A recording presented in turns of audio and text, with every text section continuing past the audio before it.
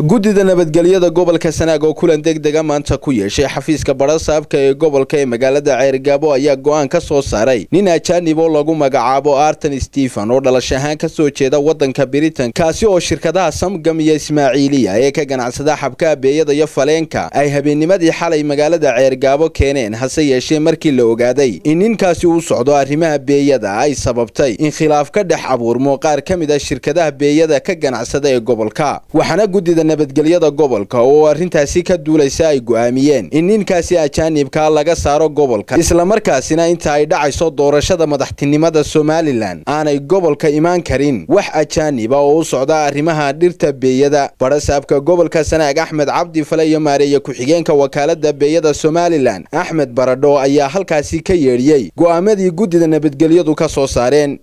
Maanta waxa aanu halka kan go'aan ku gaadhnay kadib markii aanu ogaanay shirkadaha beeyada ee somgam iyo aslimaydi ay muddo dheer howlo nabadgelyo darro aanu ku aragnay waxaanu go'aansannay bilxaqiiqan maanta oo go'aanaanu ku gaadhnay in maxay ahaytooy cid ajaanibah oo shirkadda beeyada shirkadda beeyada oo ay wadaan shirkadooyinka beeyada gaar ahaan labadaa shirkadood wax ajaanibah oo beeyada ku shaqo leh oo ajaanibah inaanay keenin haddii ilahay ka dhigo gobolka ilaa iyo inta doorashadu ay dhacayso haddii waxaa jirtay sida la ii sheegay anigu kolley shakhsiyan maan ogeyn kuwa hore ee ka horeeyana waan ogaa iyo isagase anigu maan ogeyn bilxaqiiqan hase yeeshee waan ogaanay inuu dee joogo uu yimi ama ha la ogaaday ama hayaan la ogaani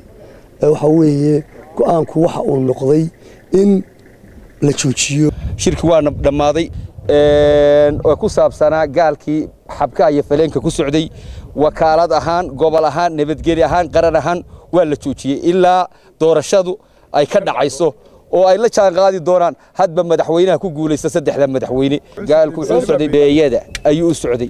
Nabadgelyo darro aawadeed baa loo jooji waxba wax waraaqa la yidhaahdo aanu ka haynay annagu gaalka haddaan wakaalada ma hayn ma jirto. Ayse aan la yeelanna ma jirto. Noomana iman. Sidaa la ajligeed nabadgelyada gobolka iyo dalka iyo dadka ayaa loo joojiyey. Beeyada wakaalad ahaan annagaa ka mas'uula. Ciddii nala soo xidhiidha ama ciddii aanu marti ahaan siino beeyadu annagaa geyn karra annagaa warqad siin karra ay ku tagto. Ciddii wadata iyo caddaanba. Haddeer waxa samgan baa wadata iyo ismaaciiliya sida laygu sheegay. Xasan saalax xaaji xasan ayaa hormuudka ah. Dhanka kalena qaar ka mid a mulkiilayaasha dhirta beeyada iyo faleenka oo halkaasi ka hadlay ayaa yidhi beeyada ragga leh baan ka tirsanahay waxaana ahay caaqil weliba.